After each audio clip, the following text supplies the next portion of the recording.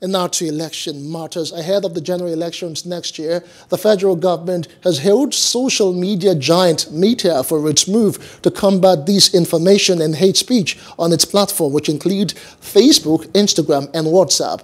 The Minister of Information and Culture, Lai Mohammed, stated this at the 12th edition of the PMB Administration Scorecard Series 2015 to 2023 in Abuja. He also urged other social media platforms like Twitter, TikTok and Telegram to emulate Meta and set up teams to fight misinformation as Nigeria approaches its general election.